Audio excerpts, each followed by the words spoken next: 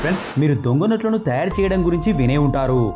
కానీ మీరు ఎప్పుడైనా ఫేక్ కాయిన్స్ని కూడా తయారు చేస్తున్నారని విన్నారా? ఇదేంటి? దొంగ నోట్లే కాదు. దొంగ నాణాలు కూడా తయారు చేస్తారా అని జాగయ్యారా? మీకు ఇంకో విషయం చెప్పనా? ఈ చిన్న చిన్న ఫేక్ కాయిన్స్ తయారు చేసి ఒక మహిళ మూడు నెలల్లో ముప్పై కోట్ల రూపాయలు సంపాదించింది. ఆ మహిళ తను చేసిన ఫేక్ కాయిన్స్ని టోల్ ప్లాజా దగ్గర సప్లై చేసేది. అలాగే ఈ వీడియోలో అసలు ఈ ఫేక్ కాయిన్స్ని ఎలా చేస్తారు? అంతేకాదు ఈ ఫేక్ కాయిన్స్ని ఎలా గుర్తుపట్టాలో కూడా తెలుసుకుందాం. అందుకే వీడియో లాస్ట్ వరకు తప్పకుండా చూడండి. ఈజీ మనీకి అలవాటు పడ్డ ఈ మహిళ అలాగే ఈమె ఫ్రెండ్స్ కలిసి జస్ట్ మూడు నెలల్లో ముప్పై కోట్ల రూపాయలు సంపాదించారు. ఏ గల్ల డబ్బలో అయితే మీరు మీ పిల్లలు డబ్బులు దాచుకుంటున్నారో ఆ గల్ల డబ్బలో కూడా ఈ డూప్లికేట్ కాయిన్స్ ఉండి ఉండొచ్చు. ఈ డూప్లికేట్ కాయిన్స్ తయారు చేస్తూ ధనవంతులు కాదు ఏకంగా కోటీశ్వరులు అయ్యారు. ఒకరోజు ఫరీదాబాద్ పోలీసులకు వాళ్ళ ఇంటెలిజెన్స్ ద్వారా ఒక ఇన్ఫర్మేషన్ వచ్చింది.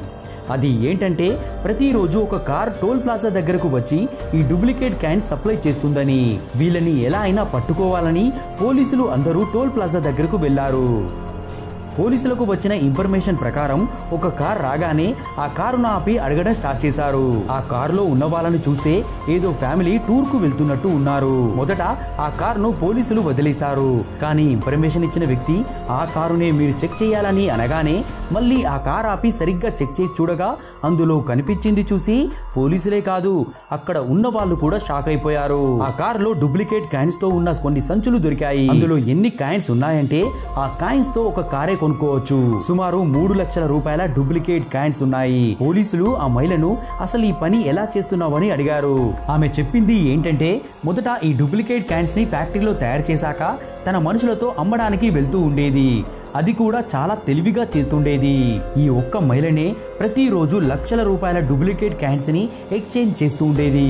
ఈమె మెయిన్ దందా అంతా కూడా టోల్ ప్లాజా దగ్గరే. టోల్ ప్లాజా దగ్గర పనిచేసే వాళ్ళకి చిల్లర డబ్బుల అవసరం డైలీ ఉంటుందని పక్కా ప్లానింగ్తో అక్కడే ఈమె దగ్గర ఉన్న నకిలీ క్యాన్స్ అమ్మడం స్టార్ట్ చేసింది. ఈమె నకిలీ క్యాన్స్ ఇస్తుందని ఎవ్వరికీ అనుమానం వచ్చేది కాదు. ఈమె డైలీ ఒక నకిలీ క్యాన్స్ బ్యాగ్ని తీసుకొని వెళ్ళేది.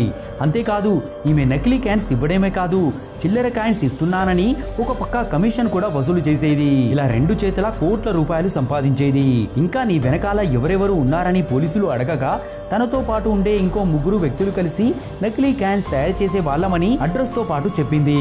వెంటనే పోలీసులు అక్కడికి వెళ్ళి చూడగా నకిలీ క్యాన్స్ తయారు చేసే మిషన్లతో పాటు అక్కడ సగం సగం తయారు చేసి ఉన్న నకిలీ క్యాన్స్ చూసి షాక్ అయిపోయారు. అక్కడ పోలీసులకు మూడు లక్షల నకిలీ క్యాన్స్తో పాటు ఈ క్యాన్స్ తయారు చేసే మెషిన్లు కూడా స్వాధీనం చేసుకున్నారు. కొన్ని నెలల నుండి వీళ్ళు ప్రతిరోజు ఇదే పని చేస్తూ ఇప్పటికీ ముప్పై కోట్ల రూపాయలు సంపాదించారు. ఇలాంటి వాళ్ళని పట్టుకోవడం మొదటిసారి కాదు చాలా సార్లు నకిలీ క్యాన్స్ తయారు చేసే వాళ్ళని పట్టుకున్నారు.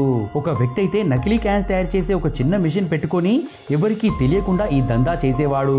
ఇతను పదకొండు టన్నుల మిషన్ ఒకటి తన ఇంట్లోనే పెట్టుకొని ఐదు రూపాయల డూప్లికేట్ క్యాన్స్ని తయారు చేస్తూ తెలివిగా బయట చేంజ్ చేసేవాడు. ఇతను గత పదకొండు నెలల నుండి ఈ పని ఎవ్వరికీ అనుమానం రాకుండా చేస్తున్నాడు.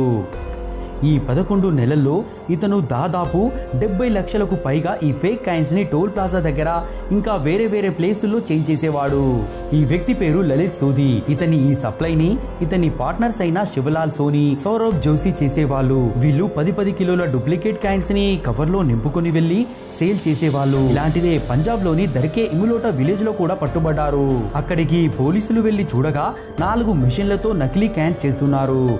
ఆ ఫ్యాక్టరీలో నకిలీ క్యాన్స్ తయారు చేస్తున్న నాలుగు మిషన్లను అలాగే నకిలీ కాయిన్స్తో ఉన్న ఇరవై ప్యాకెట్లను స్వాధీనం చేసుకున్నారు. ఈ ప్యాకెట్లలో లక్ష ఇరవై ఐదు వేల నకిలీ కాయిన్స్ దొరికాయి. వాటి విలువ పన్నెండు లక్షల యాభై వేలు. నకిలీ కాయిన్స్ తయారు చేసే నాలుగు మిషన్లు అలాగే పూర్తిగా తయారు కాని డెబ్బై కిలోల నకిలీ కాయిన్స్ కూడా స్వాధీనం చేసుకున్నామని పోలీసులు అన్నారు. నరేష్ కుమార్ అలాగే సంతోష్ కుమార్ అనే మెయిన్ వ్యక్తులతో పాటు ఇంకో ముగ్గురిని అరెస్ట్ చేశారు. ఇప్పుడు నకిలీ క్యాన్స్ ఎలా తయారు చేస్తారు? అలాగే వాటికి ఎంత ఖర్చు వస్తుందో తెలుసుకుందాం. ఫ్రెండ్స్ నకిలీ కాయిన్స్ని తయారు చేయడానికి ఫిఫ్టీ పైసా ఖర్చు అవుతుంది మేము చెప్పేది ఒక కాయిన్కి అయ్యే మొత్తం ఖర్చు. ఎగ్జాంపుల్ ఐదు రూపాయల కాయిన్ తయారు చేయడానికి యాభై పైసలైతే మిగతా నాలుగున్నర లాభం అన్నమాట. వీళ్ళు ఎంత సంపాదిస్తున్నారో మీరే క్యాలిక్యులేట్ చేసుకుని చెప్పండి. ఇలాంటి ప్రాఫిట్తో ఉండే బిజినెస్ ఎప్పుడైనా చూసారా? ఇప్పుడు మీ దగ్గరున్న పది రూపాయల కాయిన్ ఒకటి చేతిలో పట్టుకోండి. ఎందుకంటే నకిలీ కాయిన్కి ఒరిజినల్ కాయిన్కి తేడా ఏంటో క్లియర్గా చెప్తాను సరిగ్గా చూసి మీ దగ్గర ఉన్నది నకిలీ కాయినా లేదా ఒరిజినల్ కాయినా అని కమెంట్ చేసి చెప్పండి.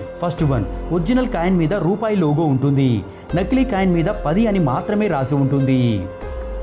సెకండ్ వన్ ఒరిజినల్ కాయిన్ మీద ఇలా పది లైన్లు ఉంటాయి అదే నకిలీ కాయిన్ మీద పది కన్నా ఎక్కువగా పదిహేను వరకు లైన్లు ఉంటాయి థర్డ్ వన్. ఇప్పుడు నకిలీ కాయిన్కి అలాగే ఒరిజినల్ కాయిన్కి మెయిన్ డిఫరెన్స్ చెప్తాను నకిలీ కాయిన్ మీద పది అని మిడిల్లో ఈ సిల్వర్ మీద రాసి ఉంటుంది.